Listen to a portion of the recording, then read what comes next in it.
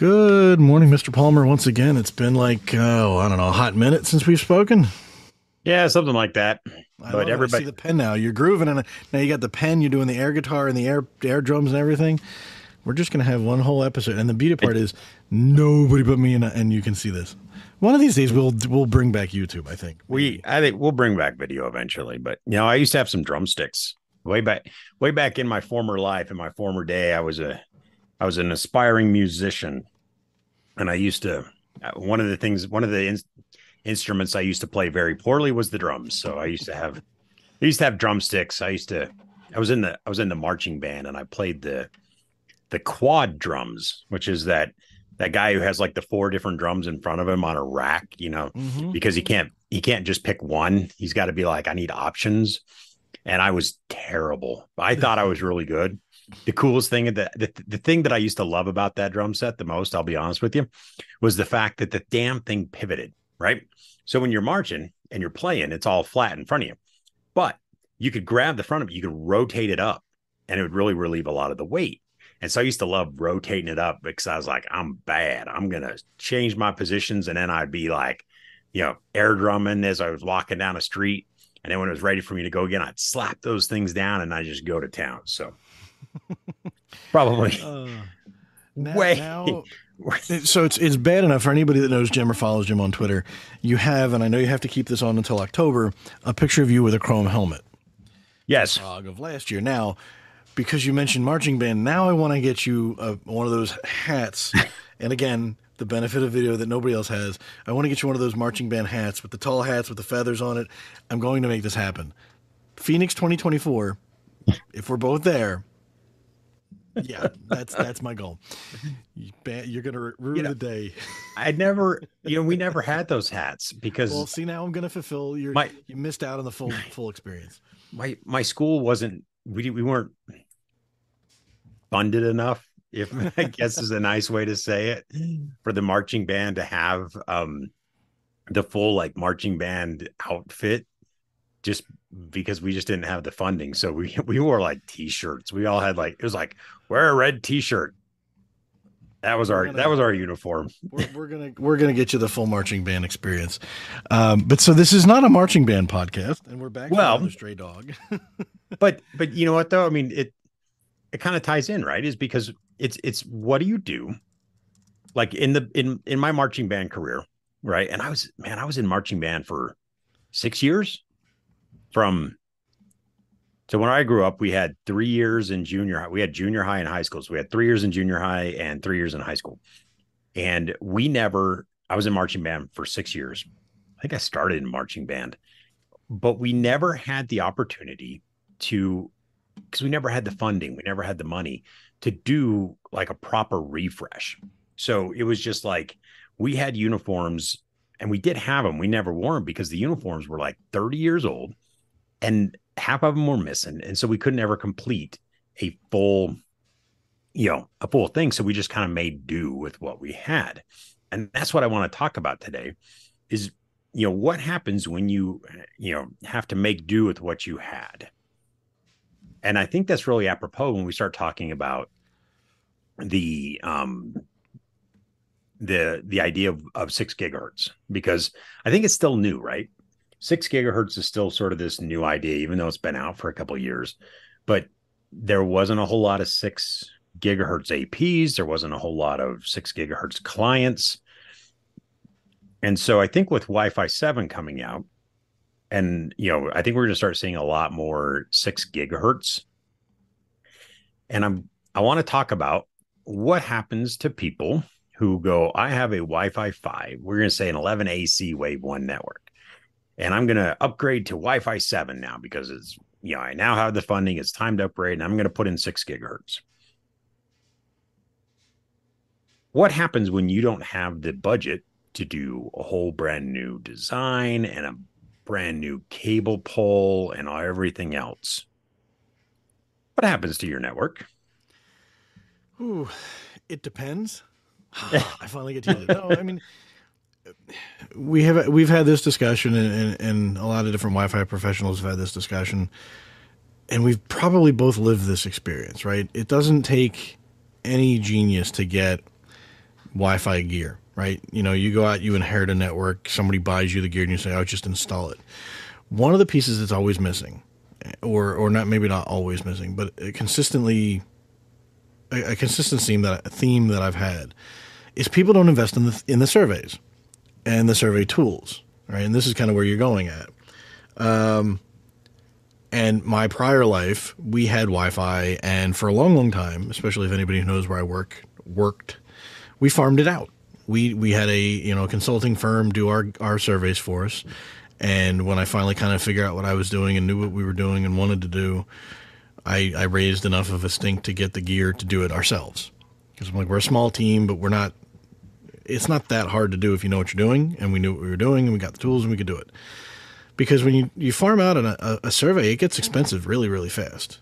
And I understand that getting the tools and, and things like that, and the software and the licensing, especially the licensing nowadays, it can add up pretty quickly too. But if you don't survey, I mean, it's a crapshoot, to be blunt, right? And and, and the the thing that a lot of people forget as Wi-Fi improves, and especially now that we're jumping from five to six, I mean, you could do like a Wi-Fi five to Wi-Fi six. You could probably do a rip and replace and be okay. But if you're doing to six gigahertz, rip and replace becomes a little bit problematic. You know, and but and it's the same thing if you were going from like a 2.4 only network to 2.4 and 5 you're going to have coverage gaps on the 5 gigahertz network if your prior deployment had been surveyed for 2.4 or really not even that. You depending on how your survey was done i should say. Because use cases changed the technologies changed the building might have changed. Um, so it's really hard to tell. So i'm going to take you to task on a couple of things. One you kept saying surveys. And I'm I wrote a blog on my personal blog few years ago about, you know, is the word survey dead? Because there was, you know, there's a whole big thing about survey actually means something. And too many times people talk about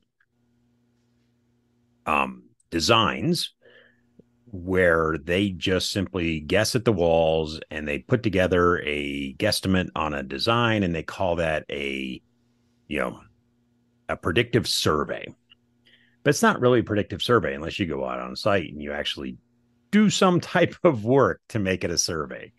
And so so there's there's the predictive design which could involve like a full blown i'm going to go on site i'm going to measure the attenuation of every single wall to make sure that i know what i'm doing or what i'm designing. And then there's the guesstimate you know design which is i'm just going to assume that all the walls are 3db drywall attenuation and i'm going to throw that in i'm going to put my design in and then there's the people that just go look the cable drops are where the cable drops are and i'm not going to move them at all and so i'm not even going to do any type of design you know, I'm just going to do a guesstimate, pop and swap, and you know, you're right. There was the, you know, it's going from a 2.4 only network to a you know 2.4 and 5 with a dual band.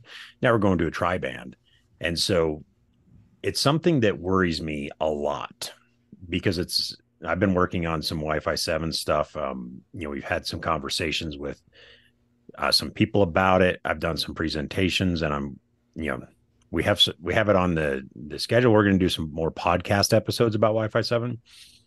But it's the the thing that scares me about Wi-Fi seven the most is the proliferation of six gigahertz and people not being prepared for what that means when they do their traditional pop and swap. Because I'm not going to spend the money to, you know, to fix anything else. I'm just going to pull out my, you know, we'll say like an R600, and I'm going to put in an R whatever we six whatever we come up with for the the seven the Wi-Fi seven naming convention. Um, you know, they're like, I'm going to put that, I'm going to put in that AP, and then I'm going to call it a day. I'm going to be done, and it really, really scares me, John. No, I agree. I mean, it's up there with, and I've had this a couple times in my past where somebody's like, "Well, we don't have the design, we don't no, we don't have the floor plans yet." Um, but we know it's going to be like 20,000 square feet. So how many APs? Oh. And I I mean, I've gotten to the point where I refuse to give numbers because I mean, we're we're, we're going to owe Sam a lot of money, but it depends because, and I, I've done this with a warehouse where they didn't literally didn't have a floor plan. They're like, well, we need to know how many APs to order. I'm like, well, I need to know the, sh- the shelves and the layout because I don't know what it's going to look like and how the, you know, are they going to be floor to ceiling? Are they going to be fully stocked? Is it going to be the entire building floor to ceiling shelves? Like, that could be 100 APs, that could be two. Like, where do you want the wireless cover? Like, it, it all depends. But that's that's a different. I think that's a different uh, rabbit hole. One of the biggest, and I touched on a little bit. I know. I think this is kind of where you were going with it. Is the cost right? So for every big organization that wants to do Wi-Fi right, they should be able to afford, whether it's their own survey tools, uh, survey whatever nomenclature can change. I don't care. The tools to do the job, right? They should be able to afford it, and if they can't afford it or they don't have the team to do it, they can farm it out there are plenty of, of third party partners, integrators that do this work. Some do it better than others, but you know, there's there's options. Um, like I said, if you're going from five gigahertz to five gigahertz, no harm in doing is you. What you what's your? Uh, I do a rip and replace. You do pop and drop. What is it? Pop and swap. Pop and swap. Um, there's no harm in that, but you know, and, and there's there's metrics out there and I, I, can't, I don't have it in front of me. and I'm not going to go hunting because this is just a stray dog shorty. But, uh, you know, 2.4, I'm hearing Keith Parsons in my ear. 2.4 and 5 gigahertz and 6 gigahertz don't cover any further or less than the other. They, they all travel the same amount of distance. If you point them all to the moon, they're all going to get there at the same time. They propagate differently through material is where, where the difference comes in. So anybody listening that's that's going for basics, I'm am I being a pedantic person about that? Yes but 2.4 does not cover any further than 5 gigahertz. It propagates different. Um, and I can get crucified all I want, I don't really care. But 6 gigahertz does the same thing. So, from a coverage in the real world perspective, you're going to get less coverage from a 6 gigahertz signal than you are from a 5 gigahertz than you are from a 2.4. You're going to need more 6 gigahertz APs or 6 gigahertz radios than you're going to need of the 5 or the 2.4 variety. And there's no ratio I'm sure somebody probably has a ratio. I'm not a fan of a one size fits all kind of slide rule for that because it depends. You could have a very dense building, a lot of you know a lot of walls breaking up the signals, and you might need an AP in nearly every room to get adequate six, six gigahertz coverage. But you need that survey. You need to have that that information on site from the tools gathered to tell you what you need. Or after the fact, go back and validate and say, okay, the coverage in this room is exactly what I was hoping to get out of it. This is great. Or, wow, this is really bad. I can't use six gigahertz in this classroom anymore. I, I need to I need to add an AP or move an AP or adjust something. Um, and you know, and I've seen people talk about it on the Wi-Fi messaging boards. Um, and there's different boards that I trust more than others, and there's more there's different people that I trust more than others. And and I've seen people comment that, oh, you know, it's it's it's really not that much difference, you know, and and those are on the boards I don't trust from the people I don't know. But the people that I know and the people that I trust have all been coming back with the same thing recently because they've started doing Wi-Fi six, um, or not Wi-Fi six, but uh, six gigahertz AP AP on a stick and and it's been it's been like wow can you believe? You know and and and if you don't know an ap on a stick is the idea that you basically take a test ap you put it on a on a stick on a on a telescopic pole and you and you put it in an environment and then you survey you actually walk around with the device that measures the signal and you keep walking until you get to you know a signal level that you don't care about anymore. Don't don't just stop at hey i want to see how far my neg 65 gets you know where do i go at neg 65 when you do these ap on a stick surveys you need to go out to where you don't care about the signal because there's that you have the the, the care or, or want don't want don't care. And the don't want part is really critical when we start talking about um, cci and that usually exists between about a neg 67 and a neg 90 so you really have to survey, you know, keep walking in that circles and walking around the AP, going further and further and further until you get to about a neg 90. But they're doing this. And what they're discovering is, is that the signal level that they want is so much smaller, you know, than what they had anticipated and from what they thought. And I did a video, or I didn't do the video, but I talked about the video at Mobility Field Day nine. And one of the things that I had to glance over really, really quickly was this idea that we're putting six gigahertz in with Wi Fi 6E without an AFC. And that means we're running low power indoors, LPI. Now, you can say it. You can go, oh, yeah, LPI was, you know, 12 dB, 12 dBm, sorry. And, you know, and you go, oh, my my other one was at 22, so it's 10 dB difference, right? So it until you actually see that in a real world, it's one thing to say the numbers. It's another thing to actually see what that looks like when you when it's actually surveyed. The coverage difference is astronomical. And one of the things I'm noticing within my neighborhood, and this is sort of a very specific to just me. Um, I was using my uh, six gigahertz monitoring off my WLAN Pi and and uh, Wi-Fi Explorer Pro, and I noticed that all of my neighbors now have the new um, ISP router because it's all this this new manufacturer I've never heard of before, and it's all new, and they all have the the hidden SSIDs, and they all have the all that stuff, and so I know it's all of all of the ISP stuff, and I can see a ton of five gigahertz SSIDs from all of my neighbors. I can see one six gigahertz. Now I know the six gigahertz exists because it's all coming off. It's all the same router, right? It's the same model. So I know they all have it because they all upgraded to get the faster Wi Fi. And yet I can't see, I can only see one SSID outside of my house. Whereas at five gigahertz, I can see 40. So there's going there is a huge difference in that ability to cover and I know you said you hate the square footage thing and I hate the square footage thing, but there is a significant difference in how much square footage you can cover when you go from a standard power, I hate saying standard power, but you go from a full power five gigahertz radio to a, a low power indoor six gigahertz. I'm very concerned that people are going to start just throwing in these Wi Fi 7 APs and they're all going to have the ability to do six gigahertz and it's going to massively underperform and they're going to blame everybody except themselves for not doing the proper design. No, and I, I should I should sort of reiterate. I don't I don't think either one of us hates the square footage thing particularly. It's there's no one size fits all answer where you can sit there and say for every there's... 150 square feet you need an AP.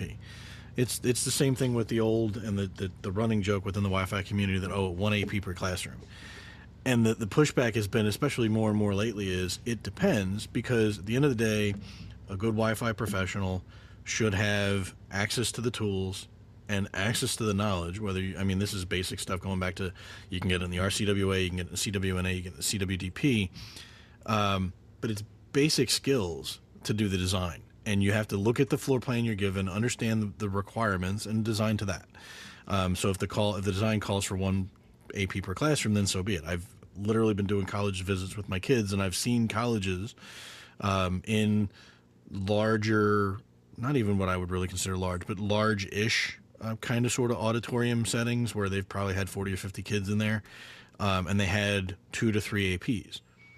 And on the one hand, you might think that's overkill, but they weren't beefy APs, and I don't know, it wasn't our stuff, so I, I didn't bother to look up the model number and understand what it was rated for. But it could be one of those things where the designer figured out that you know they need, you know, one maybe it's tertiary coverage. Maybe they they have an issue where like they they they need to make sure that if one AP fails, they still have got it two, and they only want you know 30 devices per. And again, with you're not designing for the people, you're designing for the devices. And when you look at the the, the survey numbers, the not Wi-Fi survey, but the actual uh, the marketing numbers, if you will, uh, they're like three and four devices per person is not unheard of. I mean, I'm sitting at my desk. My wire, my watch is wireless. My phone is wireless. My ta- uh, iPad is not here, uh, but if it is, that's wireless. I've got my laptop. That's four devices for me, um, just right like that. So if you put a classroom in college or high school, you've probably got kids with three and four devices, and if you've got 30 device, 30 people in a room, that could be 100 devices. So you need to design for the devices, not the people. Um, but where I was going with that is. Um, you design for the requirements, right? And but to your point, six gigahertz, you can't do a rip and replace because you're going to have massive coverage gaps, and it's the the old mentality. I think we still see it where people are like, "Oh, Wi-Fi is simple." Eh, mm, I don't want to sound like the the gatekeeper, but you need to know what you're doing, and if you don't know what you're doing, it can be very expensive for you to do what you don't know what you're doing, and then somebody has to come in and fix it. Um, but when you think about it, right, like 10, 15 years ago, Wi-Fi was just a nice to have. Now it's the only way people can connect for for for most parts of the world, right? Like the new iPads, the new well, forget it, the iPads, the new MacBooks, all the the latest, not even Apple stuff. A lot of the computers nowadays don't have an Ethernet jack. It doesn't exist. And you're bringing the laptops to the classrooms, you're not plugging in. Your Wi-Fi is mission critical. So you know, on the one hand, people can try to do it without paying for the, the tools or the the expert to do it, but um, to me, it's like a fool's errand. Um, it's it's one of those where it needs to be done and it needs to be done right. And yeah, I agree. Um, I mean, I going back to the last stray dog, right? I, I was at a property last year that swore up and down they were not. Um, they were in the middle. They hadn't done a redesign yet, and I could tell that they were running one of our newer APs because I could see it because I had. I'm a nerd. I've got the tools, um, and they swore up and down that they hadn't deployed it yet. I'm like, I'm literally looking at it. I've got the, you know, the feedback. I've got the MAC address. I've got everything. I know what it is. Um, but it was very clear that they had done a rip and replace without a resurvey, without a redeployment, without any adjustments. You know, they had 20 APs. They probably needed 24 APs in the new design based on six gigahertz, but they didn't have. Um, and then they had a coverage gap issue. So um, it's what penny wise, pound foolish. It really is what it boils down to. You're going to find people that are trying to do the rip and replace, the pop and swap, and save money by not resurveying, by not re designing and understanding where the, the things are going to need to be. And like you said, they're going to wind up sitting there saying six gigahertz is horrible. This is a really bad network. I mean, how many times do we do it? I, am sure if we ask somebody that's done these a lot more than we do, a lot of the times people are going to complain about a wireless network, and it has nothing to do with like the Wi-Fi was bad. It was it was misconfigured. It was a poor design. The design was poorly executed. Things like that, very easily fixed if people trusted the experts and, and let them do their work. I'm going to close with one thing that you said, and it and it sort of sent a, a chill down my spine. And so I'm going to say it out loud and then we can wrap this up. You were talking about education, and we just finished our, we just did, you know, two episodes with Ryan McKeag about um, K 12 and education Wi Fi. And one of the big topics in the first, in part one, was the idea of one AP per classroom. And, and, you know, and hopefully we've kind of gotten away from that. But then I started thinking about the, you know, the idea that since we know that low power indoor six gigahertz APs, even if you even at you know the low power indoor is limited to say 12 dBm and you designed your five gigahertz for 14 or 15 dBm, we're talking about a 3 dB difference, which is half. So this thing's running at half of the transmit power. Even at you know at 3 dB, that's the dB math are we getting to the point where we might be going back to the one AP per classroom for six gigahertz? Does that the six and I, I don't have the answer, but it sent a shiver down my spine when you when you were talking about the one AP per classroom, and I was thinking, I was like, wait a second, we might be back to one AP per classroom, and I and it scares me to think that because one AP per classroom at five gigahertz and 2.4, and even I think at standard power does not work. But are we going to see that push again? Are we going to see the push from the people who are selling, you know, Wi-Fi designs on Fiverr? You know, be like, hey, I'll do a Wi-Fi design for your entire business for thirty dollars, type of thing. You know, are we are we back to that point to where, you know, we're going to see a prolifer- proliferation of the one AP per classroom because of the six gigahertz low power indoors and six gigahertz attenuating differently. and it scares it scares the pants off of me. well, thank God this is a video an optional podcast. I um, know.